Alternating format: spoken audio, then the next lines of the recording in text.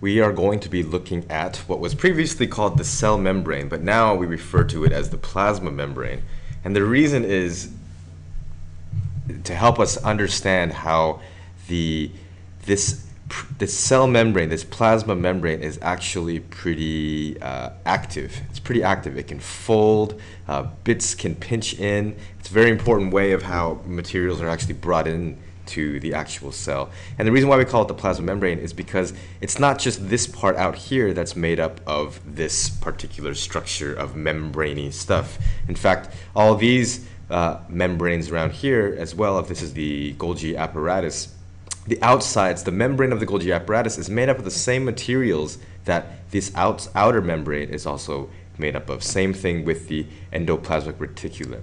So whenever you imagine a picture of a cell, it looks very static, but in fact it's very dynamic. Things are pinching and moving around, and even these little uh, circular structures here, which could be vesicles and the and lysosomes, um, they are all made up of the same type of membrane, which allows them to interchange and move around with each other. This will best be illustrated with some kind of animation. I'll hope to attach this as well too. So we call it the plasma membrane as opposed to the cell membrane. But keep in mind that all of these, a lot of these internal organelle structures are also surrounded by the same membrane, the structure of which we're going to look at right here with a really simplified, ugly diagram if you type this in onto Google, uh, do a Google image search, you're going to see thousands of different images, um, and each one can look different. So your your goal is not to memorize uh, how one of these diagrams actually looks, but try to pick out the specific features. So no matter what, no matter what kind of format it's given to you in, you can figure out what's going on. So if I look up here, so imagine that if I take a slice through here and look at it sideways, like a cross section through. So the cell would actually extend like all the way around, okay, like this. So there's a big cell right here, but I'm just zooming in on one edge of the plasma membrane.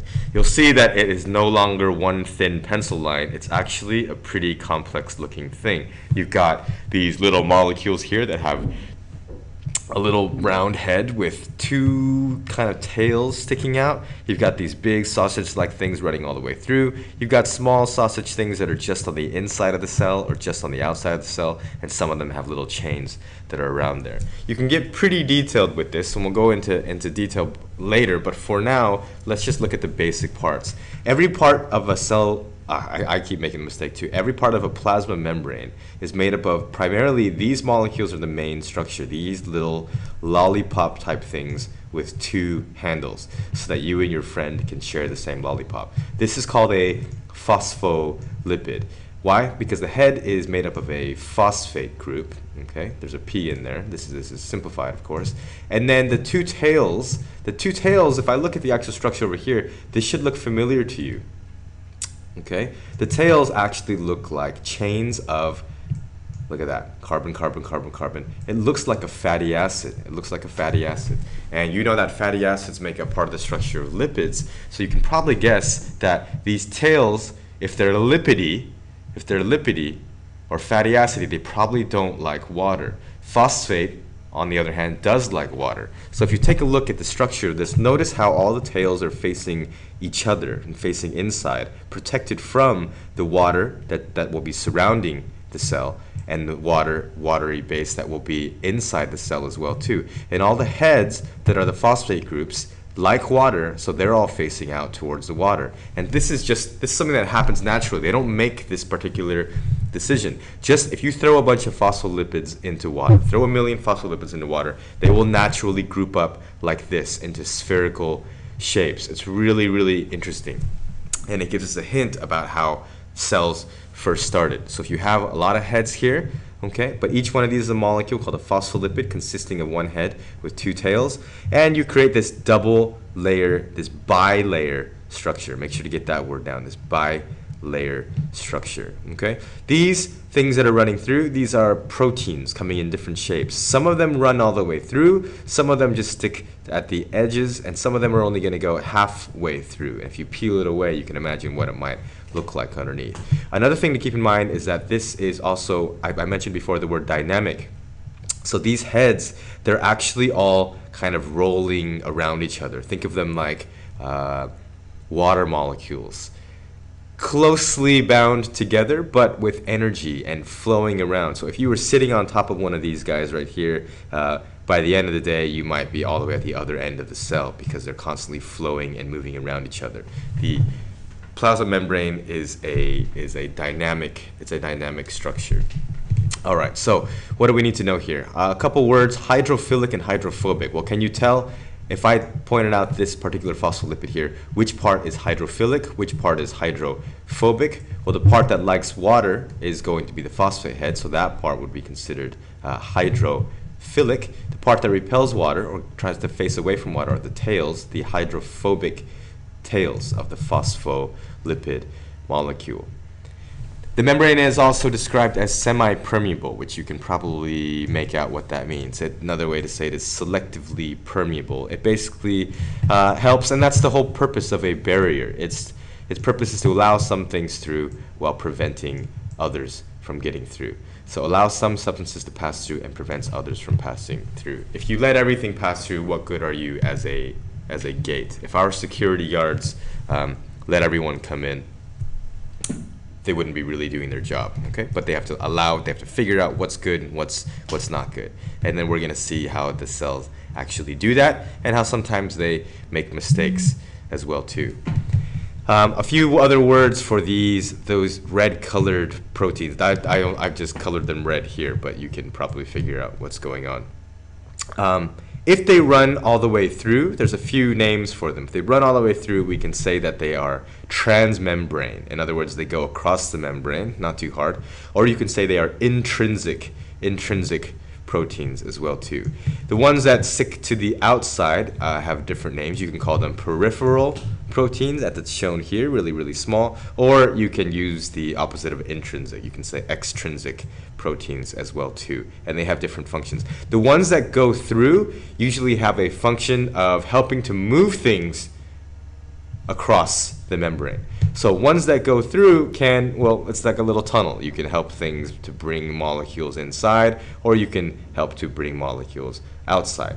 The ones that are not going all the way through, obviously, unless they're trying to be mean tunnels to trick things, haha, you thought you could go through, but you cannot, are will have different functions. I'll outline a few, just list a few of them in a, in a moment here. Um, other molecules can, some molecules could actually squeeze between uh, the phospholipids and go all the way through. But that's going to come up next when we talk about different ways things can get transported across. So here are the names again uh, integral, transmembrane. I also said intrinsic as well. And then proteins that don't extend through are extrinsic or peripheral. Uh, they basically act like a tunnel that allow large molecules like glucose to get through or some ions. And more about that will be coming up later. Here's another. See, you can easily hand draw a diagram. That's a point that I want to make as well too. That's something you should be able to do is to draw a circle. Each one of these circles has two tails sticking out and I can draw a big protein and then imagine that uh, something has to pass through the middle. And I can label all this stuff. Phospholipid, phosphate head, uh, hydrophobic tails, hydrophilic head, transmembrane protein. This could be a glucose molecule, something that's trying to pass all the way through. Okay, a few other things uh, are in there as well too. So really quickly, this I'm not going to go into a lot of detail here. Some of those proteins, besides being obvious things like uh, channels or pumps that help things to get through, they could be binding sites for hormones. So when hormones get secreted and they get passed through your bloodstream, they can actually bind to particular cells, bind to particular cells to cause that cell to do something. So how do they bind? Well, they can be looking for a particular binding spot. So some of these proteins could be hormone binding spots. Some of them could be enzymes. You should know what enzymes are. Um, amylase is an important one. But in many important biological uh, reactions, including those involved in respiration, there are plenty of enzymes involved, and some of those will actually be stuck in various cell membranes. Some could be electron carriers, where they basically are transferring electrons from one place to another. Let's not go into that later. You'll learn about that when we talk about photosynthesis and other uh, functions, and re especially respiration later. And then these two I've already mentioned channels for passive transport and pumps for active transport. Okay, really quickly, one final diagram that shows the same thing. So here's another uh, image like that, and just to go through, show you a few things. What is that? Well, it's on the outside, looks like it's a protein, it's not going all the way through. That's probably a peripheral protein or extrinsic protein. That could be a hormone binding site, electron carrier, and any one of the things that we mentioned before. Um, what's this? Pointing at the heads right here. Hydrophilic heads of a phospholipid molecule. Uh, they like water, so the water, they're facing the water. What's this? The tails are hydrophobic. They're all pointing inside. Uh, what's this? Here's a channel, a protein channel that could be moving. Oh, can't move. Oh, here we go. That could be moving uh, things all the way through. More on that later. And two more things that weren't in the previous diagram but are less important understanding the whole structure of the cell membrane. Uh, cholesterol. Cholesterol is actually important. So these little molecules that I've thrown in there. Cholesterol is important to the structure of the cell membrane.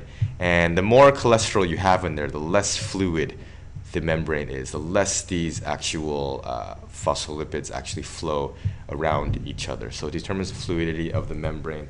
And uh, you can see there's like little flags or kites attached to one of these proteins out here. This could be a glycoprotein. Um, glycoprotein, glyco meaning containing some kind of carbohydrate chain. Sounds like glucose or glycogen. Um, but glycoprotein just means a protein. It's like a combination of some carbohydrate plus some protein. It basically functions as a marker to flag a cell, identifying it as a particular type of cell. So a hormone may be looking for a flag like this, but will ultimately, uh, this may help to identify the cell with various kinds of interactions, and then maybe it'll attach to a hormone binding site here. I think that's about it. One final thing to say here, and I'll add it up here, is that sometimes we call this the fluid mosaic.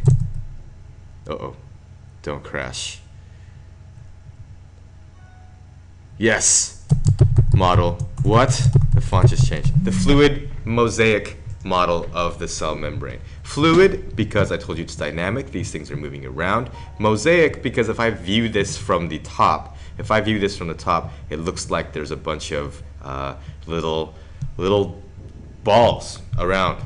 And it kind of makes a little design, and that, that design is, is constantly uh, moving around. So it looks like mosaic in the sense that there are a bunch of different pieces, and when you look at the top, it looks like uh, there's, a, there's some kind of uh, design or a pattern. Okay, post any questions you have about the general structure of the plasma membrane, not the cell membrane, the plasma membrane. All right.